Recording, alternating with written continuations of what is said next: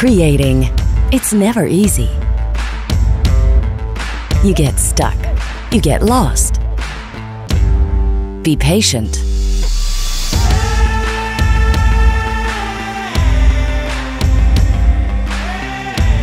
You feel doubt. Start again and again.